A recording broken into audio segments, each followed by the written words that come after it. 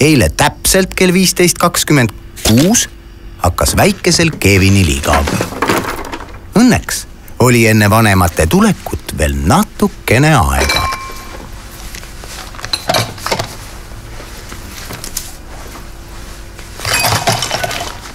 kui tahad ka edaspidi puuviljakokteile teha, siis helista RSA kindlustuse numbril viisteist kakskümmend kuus. RSA kodukindlustus katab ka purunenud kodutehnika, näiteks blenderi